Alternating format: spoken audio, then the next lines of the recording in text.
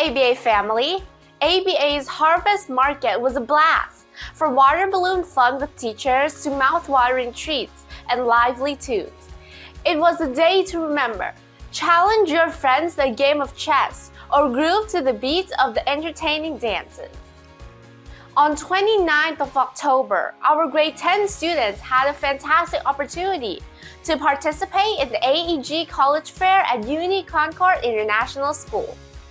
They had the chance to meet with representatives from various universities and inquire about studying abroad.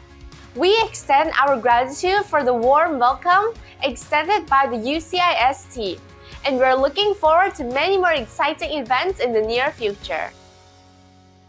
Also, we are delighted to announce that our representative from the To Be Number One Club and Ambassador Bilingual Academy took part in the prestigious national event, Walk, Run, Bike, Fighting Stroke 9.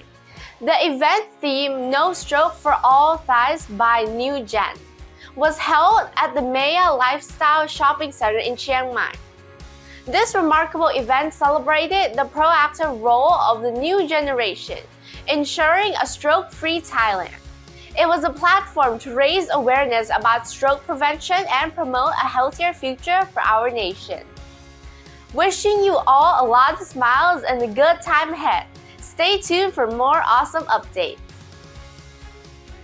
I'm Kelly and you're watching ABA News. Till next time.